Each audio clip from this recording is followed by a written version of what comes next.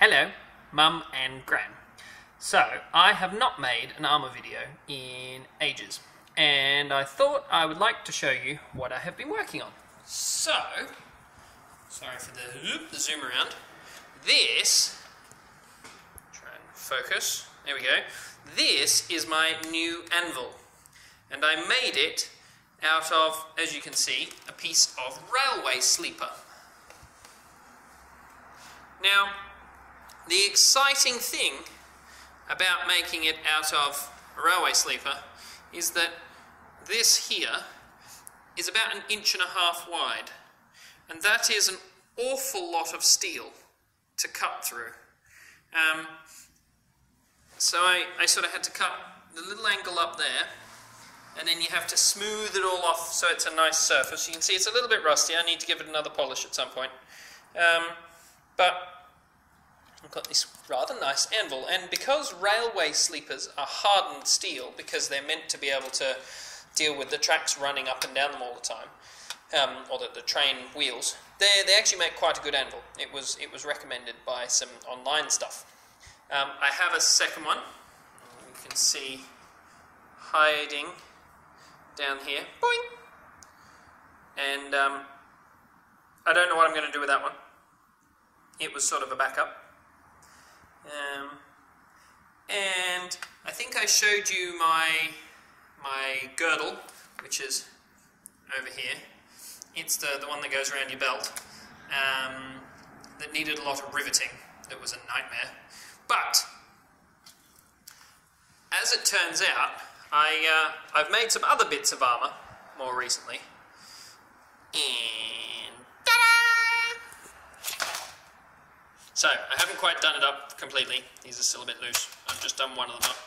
But, this piece of armour, sorry for the silly line in the middle, that's uh, it's just two different mirrors. Um, this is my breastplate. So, I've got um, plates that come up sort of covering my tummy, and then the big breastplate on top, and some pads that go over the shoulders, and oh, that's a bit silly. You can see down the back as well. So I'm kind of like a bug. Um, my sides, if we can focus, and again, I haven't done it up properly, so they're not quite overlapping properly. Might, might actually look better on this side. Let me just see. Uh, overlapping plates up here as well. So it goes into my armpit.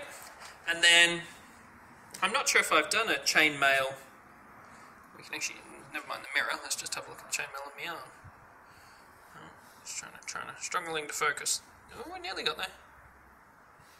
Nearly a bit further back. Uh, okay. There's the chainmail going down my arms. Um, it's just aluminium chainmail, it's nothing particularly special. And you can see right at the ends I've got these tiny little ones that just sort of seal off the end well. Um, and it comes, I'm going to jump back to the mirror now. It comes running up my arm, and then where it gets to, this is like a leather tunic that goes underneath everything, just gives a bit more padding, so that when I get, when I get whumped with something, it, uh, it doesn't pass on all of the force. Um, but yes, so it, it just connects up. And uh, I will try and prop my phone up somewhere so that you can see the hilariousness that is me trying to take this off because it's, it's quite difficult. It's a little bit heavy. Okay. So, this bit is kind of easy. It just has bits that attach here. So all I have to do is lift this one up and not tear my ears off. Because that can hurt. So uh, great success. That's the breastplate. Now this bit is a pain in the butt. First thing to do, normally there'd be all three uh, belts done up. I've only got one on each side. For the purposes of, for illustrative purposes. Okay. Now, what I could do is I could just lift this off, but the problem is, as you can see with the chain mail, it actually goes all the way around my arm. My arm doesn't just sort of fall out of it. It's like trying to take a t-shirt off. But this is a t-shirt that doesn't stretch at all. Um, chainmail does not stretch. That's why it has to be so very wide, because when I bend my arm, and I'll come in closer, hopefully you can see, when I bend my arm, it all bunches up, and you can see it kind of lifts a little, and if your chainmail is too thin, or, or is too narrow, um, when you go to bunch your arm, it, it, locks and you can't actually move your arm. And it's, it's metal, it's quite strong. So to get this off, I have to be a little bit pressure. Now, essentially what I need to do is I need to take it off by the bits up the top here. And it is somewhat of a nightmare.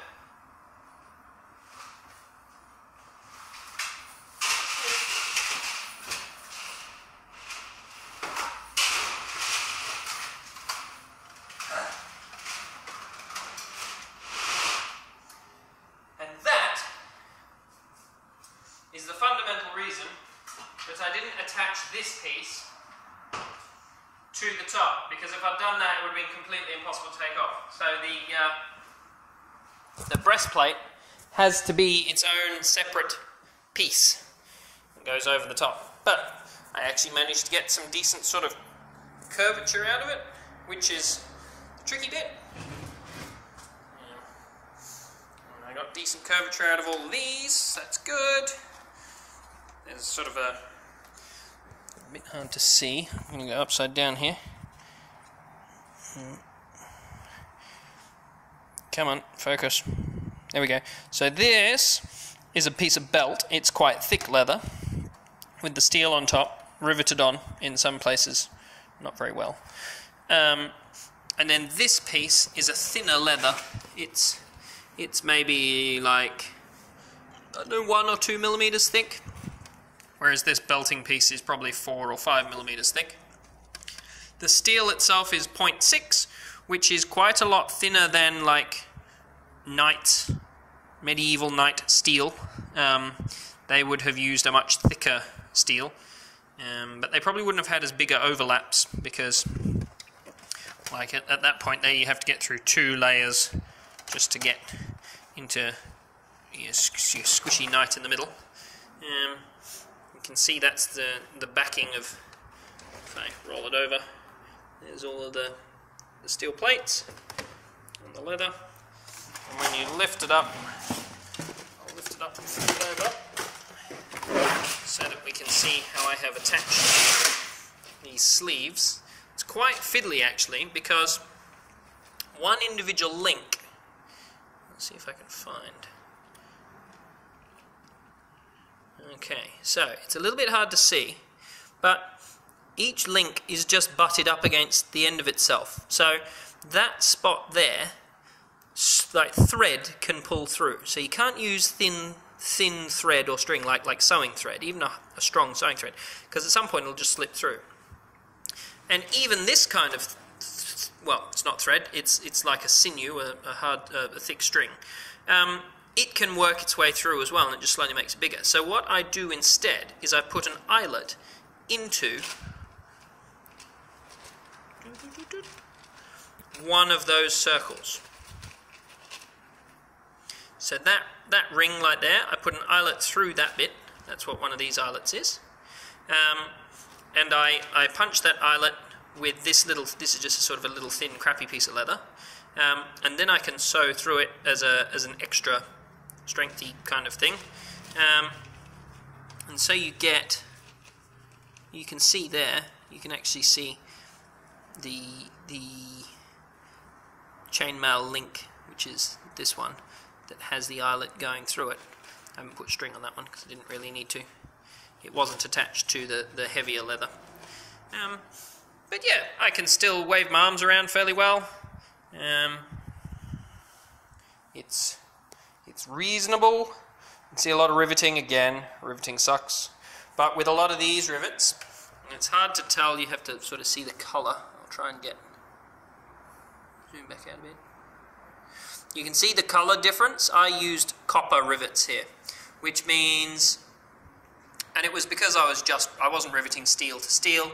if I'm doing, if I want to do something really strong, I use a stainless steel rivet. I have a stainless steel nail and I bash it, and that's what I did a lot with the with the uh, the waist thing. These bits, those are all steel rivets, much stronger. But you don't really need to be that strong because if it can tear a copper rivet, it can tear the leather. So having a stainless steel rivet won't make it any better. It'll just tear out the leather either way. Um, there are some things that I would change about this. I'm not super enamored of the, the overlapping, even though it, it sort of seems to work.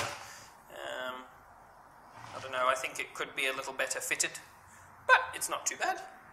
Um, so I'm just continuing to work on bits of that occasionally. Just haven't been doing very much recently because I'm preparing for the GAMSAT and struggling through teaching. So, yeah. That's my anvil. Damn it, focus.